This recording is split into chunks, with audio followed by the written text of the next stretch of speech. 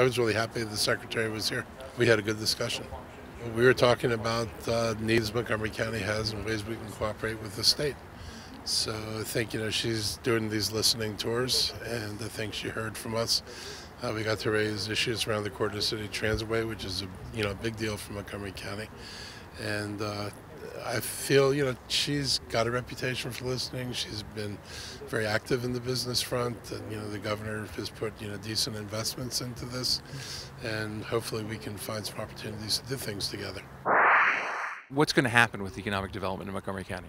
Uh, I don't think it's up in the air. I mean, we're trying to find as many opportunities to attract people in Montgomery County as we can. We're bringing a company here next week. We're going to have, uh, I think it's next week, we're going to have a press conference on a company we're bringing back from San Francisco.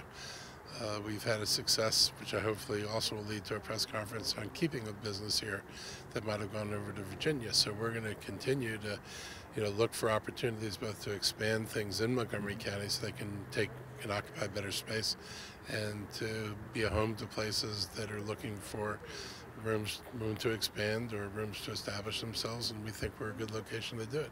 I mean everything good about Montgomery County, you know, whether it's the schools, parks, recreation, all this is a, is a major selling point for us and we just need to do a good job of selling it.